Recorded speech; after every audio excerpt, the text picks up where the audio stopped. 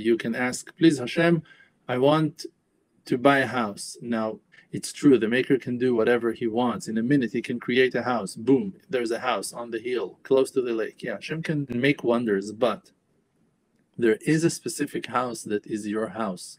There are unique and special sparks that belongs to you that are inside a certain house. Now, even if you asked for a house and Hashem, He knows exactly which house is the house that you should receive, there are some things that still needs to take place before you will be able to enter into that house with blessing. Therefore, waiting and keep on hoping and adding more prayers are needed for the completion of, of that great achievement that your prayer will be answered and that you will receive what you requested.